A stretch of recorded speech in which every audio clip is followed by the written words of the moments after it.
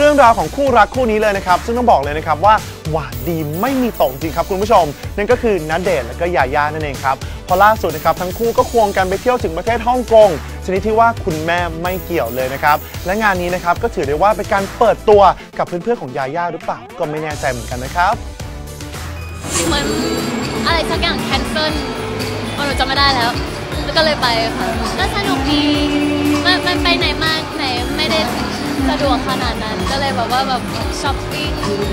กินข้าวอ่านหนังสืออยู่กับที่มากเลยค่ะแทบจะไม่ได้ไปไหนเลย มันร้อนมากใช่ค่ะส่วนมากคือกินกินโจ๊กอย่างเดียวเลยค่ะ